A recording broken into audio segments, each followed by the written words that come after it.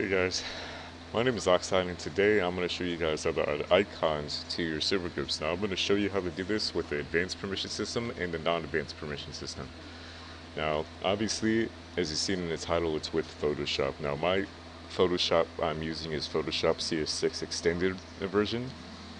Uh, if you have a different version it should look practically the same and everything should work the same. If not, uh, there's probably other videos out there that will show you how how it works, but it's generally the same thing.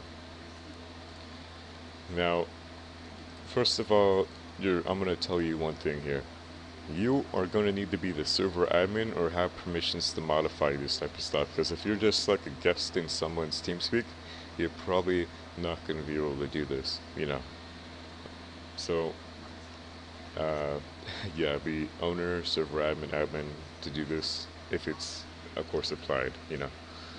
So what we're going to want to do, if you are server admin or had those type of permissions to do, do this stuff, you're going to go to permissions, server groups.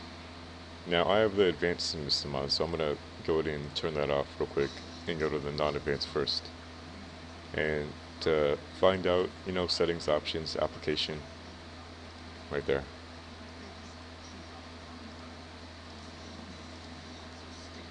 And that's how you get to the server groups and everything.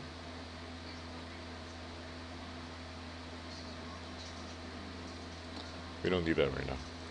First of all, obviously, sorry if it's kind of cut off, you're to go and find an image. So let's, uh, for instance, I don't know, I don't know, let's say Obama.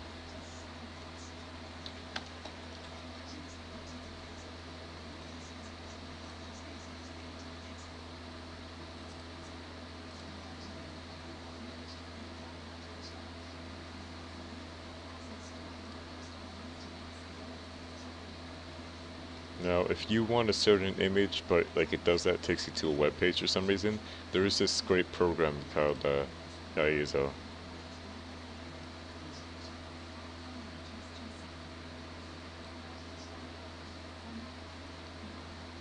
It's like a screen capture as you see in there. And it should open up like this.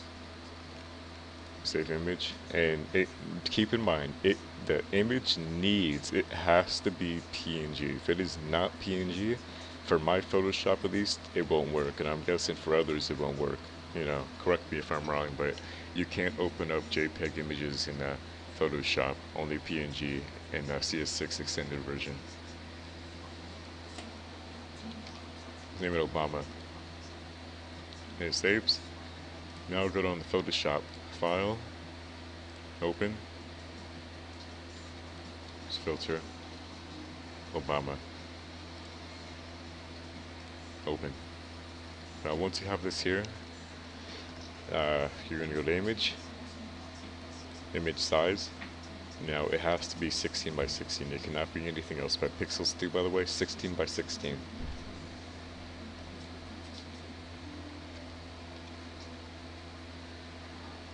Now make sure this is unchecked. Make sure this is checked and that it is uh, cubic automatic, bibicubic automatic. Okay.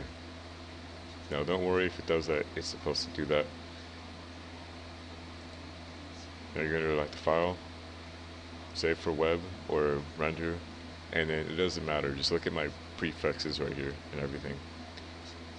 Make sure this is progressive, maximum, and just kind of maximize your screen and check if everything looks the same. So go over one more time. JPEG, progressive, maximum, like that. Save. Now you can save it as Obama or Obama S. And then save it to your desktop. Save. And there you go. You don't need Photoshop anymore or the Chrome browser.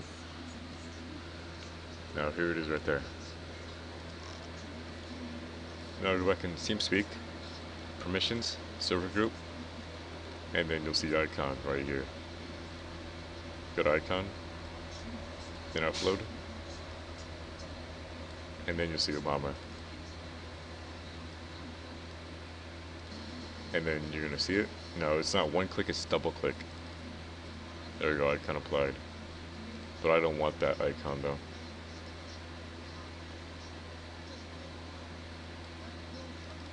My icon.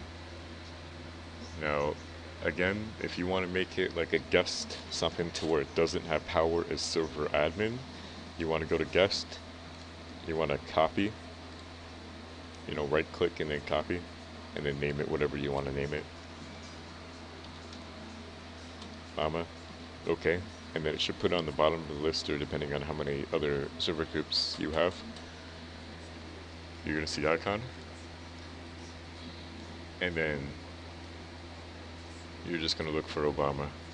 Double click and then i icon applied and then you can close that out. Now with the advanced permission system options, application, advanced permission system, apply, okay. Permissions, server group, and then again if you want it for like server admin, you're going to go to group and then you'll see icon ID double click it and it'll bring you up to the same menu like the non-advanced permission system and then click on it whatever you want it to be. Double click and then just hit close to save it basically. Now if you again if you want to copy it same thing right click copy Obama. And it should put it at the bottom. Now with the advanced permission system it's a little it's a little different. You're gonna go to that, and click on it. You're gonna find Obama, double click it so it's Obama, and then this has to be checked. Make sure this group is permanent. Make sure just double click it. You know? So it, it's like that, it's all grayed out. You're gonna double click it. And then there you go. And then close that out but and that's how you do it.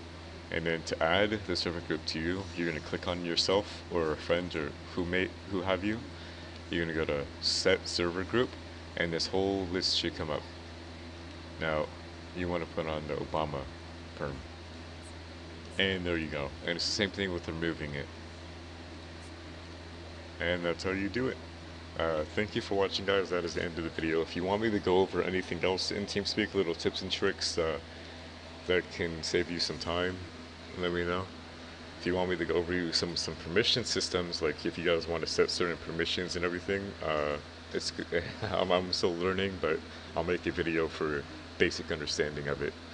So whatever you guys want me to do, or if I left out any details or need any more help, please comment down below in the comment section. But besides that, thank you for watching. It's been Oxide. Have a nice day. Peace. Go check out my main channel. How do I stop this thing? There we go.